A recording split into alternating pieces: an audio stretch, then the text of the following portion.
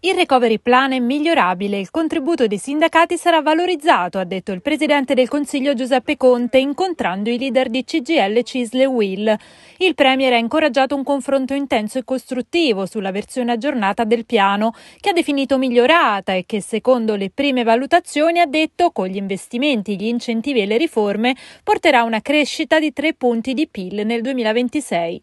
Ma se da una parte Conte va avanti sul recovery plan, dall'altra le tensioni politiche non si placano. Si punta a creare gruppi parlamentari di volenterosi a sostegno del governo e si guarda soprattutto ai centristi, anche se la notizia del segretario dell'Udc Lorenzo Cesa, indagato dalla Procura di Catanzaro per concorso esterno in associazione mafiosa, che si è dimesso, è arrivata come una tegola sulla maggioranza.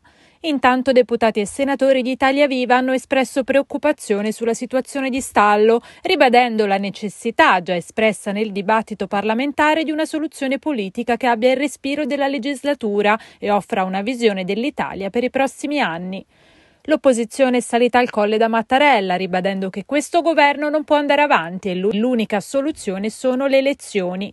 E anche il PD inizia a vedere nero. Il vice segretario Andrea Orlando, intervenendo a Piazza Pulita sulla 7, ha detto chiaramente che vede vicino il voto. Purtroppo sì, ha ammesso, perché è stata buttata all'aria la strada che ritenevamo percorribile e non è stata creata un'altra.